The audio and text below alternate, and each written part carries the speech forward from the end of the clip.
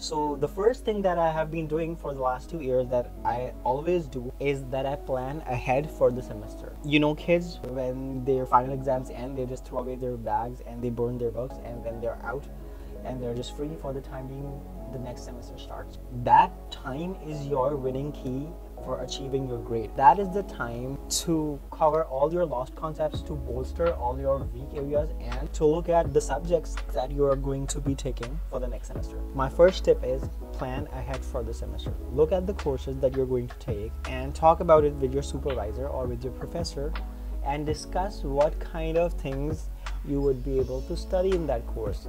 The next thing that you can do is Google the course outline most of the course outlines are pre-designed by your education department. You can simply type course outline and enter your program and it is going to give you a consolidated curriculum of that specific degree and you can find your course in that. Even if you do not have that entire curriculum available you can always type course outline with the course name. For example i have a virology course next semester. And to be honest i completed virology in first semester since the outbreak of covid. I was just so scared because my friend working back then in the field and i was just scared that how would the virus affect him and all that. So in hopes of getting to learn more about it i completed this course. And now that i have officially been registered for a virology course, I don't really have to study it again other than just revise. So, how did I do that? How did I study virology without actually studying it in the university? I did that on YouTube.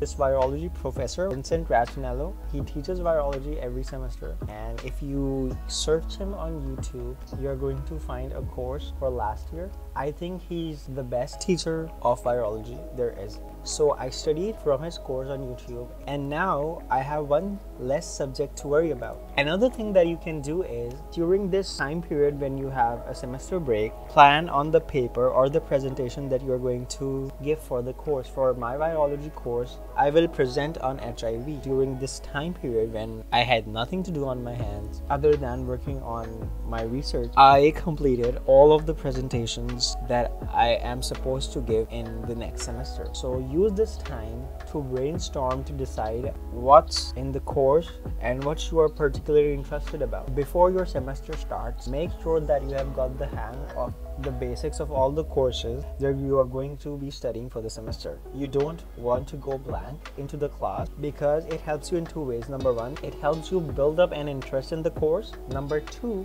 it makes you question the knowledge that you are receiving. It makes you interpret whatever you are studying in the classroom and be present in the classroom when you study before going to class, you're going to be more attentive and you are going to be more in sync with your teacher on a certain topic than you would be if you just go blank without any knowledge of what you're going to learn that day.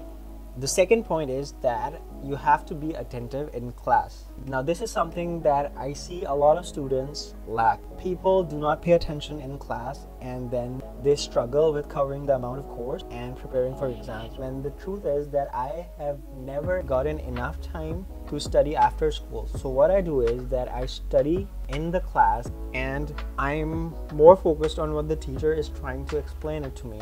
And at the same time, I'm jotting down concepts and I'm making my own notes. Once you are done with the lecture, go home, read the lecture, rewrite the notes in a manner that you do not have trouble revising if you open your notes a day before the exam. Once you do that, while making your note, annotate your notes.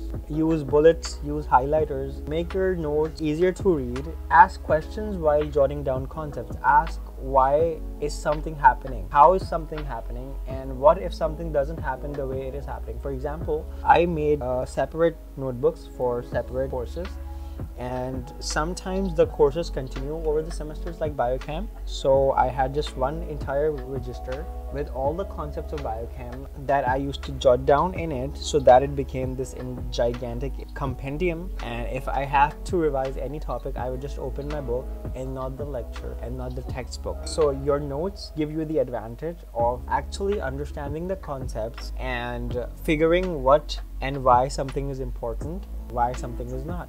The third thing that I want to emphasize on is that you need to read. Without reading, you cannot hope to clear your concepts. And reading is so essential because it helps you build up your knowledge gaps and it also helps you to realize how far we are in a certain subject area and it allows you to scrutinize your weak spots or places where you have trouble understanding certain things. One of my teachers taught me to review material from review papers because our textbooks are mostly old. Our current technology is way too ahead than what is written in the textbook. So once you read research papers, you're actually reviewing material that is current, let's say within the last 10 years. And at the same time, you also know what is the current trend of that research or what is going on in that particular area of the subject. Make an effort, read about topics from different sources, read about news articles, read about review papers other than actual original researches because review papers have less amount of data and are focused on underlying concepts and it helps you build up a base. So for example, if I have to search on cancer, so I'm going to go to PubMed and I'm going to type in introduction to cancer or all about cancers and I'm going to select review papers that have been published in the last 10 years and let's say two papers on a single topic help you a lot. Last semester, my teacher taught us completely from papers, and all the lectures that she designed were from review papers, and it helped us a lot. Not only because it covered the entire subject matter very comprehensively, but it also gave us an avenue to consider the future prospects of the subject area as well as understand the innovation that is being done and that can be achieved in that area. Once you are done reading the paper or the subject matter, try and explaining yourself to understand if you have actually gotten the concept of that write up. So, what I usually do is that after I'm done reading a text, I re explain it to myself, and somehow it sounds like this when I'm studying about cancer. Two of the fundamental areas that one should have a complete grasp of is uh, cell death and cell death could be of two types. It could be accidental cell death or it could be programmed cell death. So your accidental cell death could be due to a lot of factors and your programmed cell death is just a programming of the cell but those two are very specific. So once i'm done reading about it i'm going to explain it to myself and it would sound like this that the cell can either be killed externally or it could be killed internally. And if a cell dies according to a pre-planned death it's going to be apoptosis. And if the cell dies due to any of the external factors it's going to be necrosis.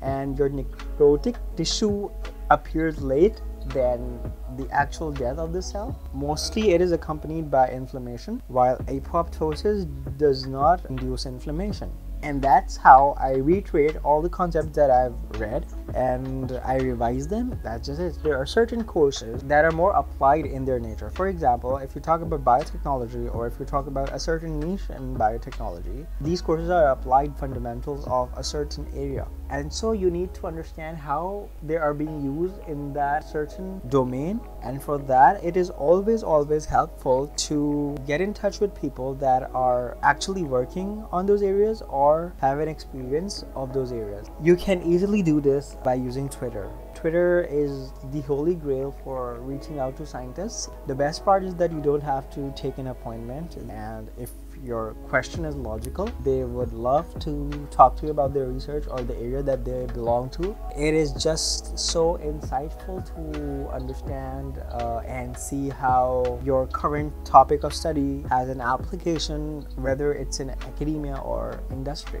The fourth thing that I would like you to focus on is your professor